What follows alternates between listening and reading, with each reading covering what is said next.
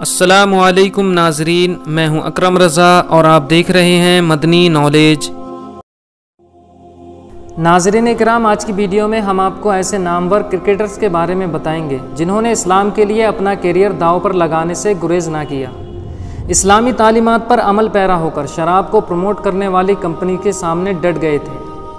और ऐसी तमाम पार्टी से किनारा कशी इख्तियार की, जहाँ पर शराब और अल्कोहल का इस्तेमाल होता है। जिन्हें इस बात की परवाह ना थी कि फ्रेंचाइजीज उन्हें ऐसा करने पर कई डॉलर्स जुर्माना ही नहीं, बल्कि साथ साथ मैच फ़ीस ना देने की सज़ा भी सुनाई थी।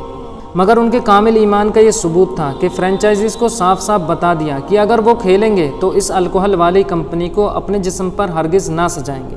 क्योंकि इस्लाम में इस चीज़ को छूना भी हराम है। दोस्तों, दौर हाजिर में डोमेस्टिक लेवल की लीग्स हो या इंटरनेशनल क्रिकेट हर जगह बड़ी टीम्स को बड़ी कंपनी के ब्रांड्स स्पॉन्सर करते हैं। और खिलाड़ियों को इस ब्रांड को प्रमोट करने के लिए, उस ब्रांड के लोगों की जर्सी पहननी पड़ती है। कई बार तो ऐसा हो चुका है कि शराब यानी अल्कोहल वाली जर्सी को मुस्लिम प्लेयर्स ने पहनने से इनकार कर दिया था। वर्ल्ड कप जीतने के बाद इंग्लैंड टीम की सेलिब्रेशन तो आपको याद ही होगी, जिसमें मोइन अली और आदिल रशीद ने शामिल ना होकर कई मुसलमानों के दिल जीत लिए, क्योंकि इस सेलिब्रेशन में अल्कोहल और शैम्पियन का इस्तेमाल हो रहा था। दोस्तों, आज की इस वीडियो में हम आपको चंद ऐसे क्रिकेटर्स के बारे में बताएँगे, जो अपने इस्लामी अकीदे पर इस कदर कायम थे कि उन्होंने अल्कोहल वाली जर्सी पहनने से इनकार कर दिया।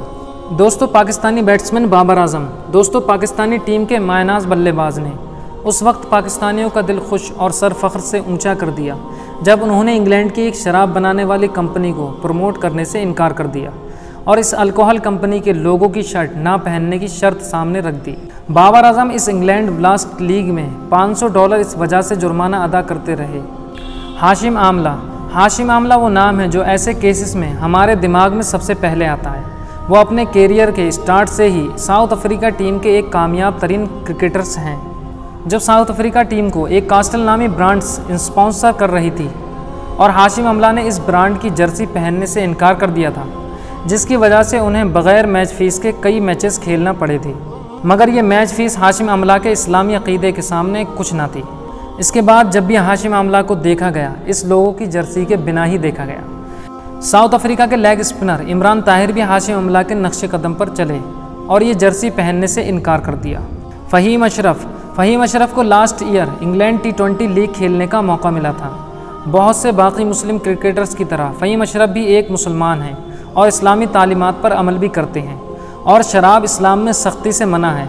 इस बात को ध्यान में रखते हुए अपनी टीम मैनेजमेंट को इन्फॉर्म किया कि वो शराब के लोगों वाली शर्ट बिल्कुल नहीं पहनेंगे। इनकी टीम को एक इंडियन अल्कोहल कंपनी स्पॉन्सर कर रही थी, जिसका लोगो इस जर्सी के सेंटर में प्रिंट था।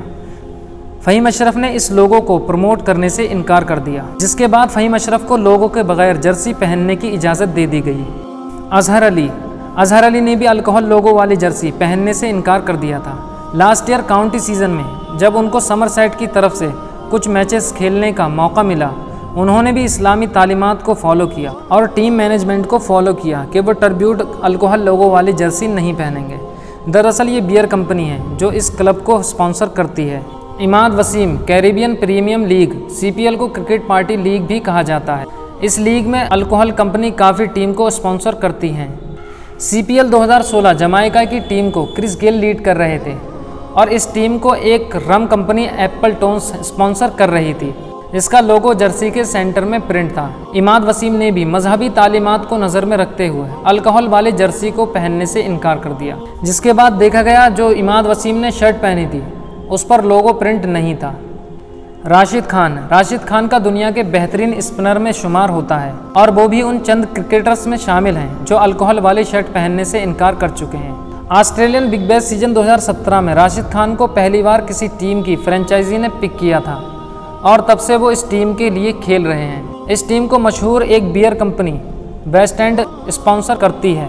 राशिद खान ने भी इस कंपनी को प्रमोट करने से इनकार कर दिया, जिसके बाद देखा गया राशिद खान ने जो शर्ट पहनी उस पर वेस्ट एंड कंपनी जो स्पॉन्सर करती थी, उसका लोगो प्रिंट नहीं था। दोस्तों, इन मुस्लिम क्रिकेटर्स के बारे में कमेंट सेक्शन में अपनी राय ज़रूर दें। दोस्तों, इसी के साथ वीडियो का अख्ताम होता है। उम्मीद है आपको वीडियो पसंद आया होगा। इसको लाइक और ज़्यादा से ज़्यादा शेयर करके हमारी हौसला अफजाई कीजिए और मज़ीद वीडियो पाने के लिए हमारे चैनल को सब्सक्राइब ज़रूर कीजिएगा। मैं मिलता हूँ आपसे नेक्स्ट वीडियो में। जब तक के लिए अल्लाह हाफिज़।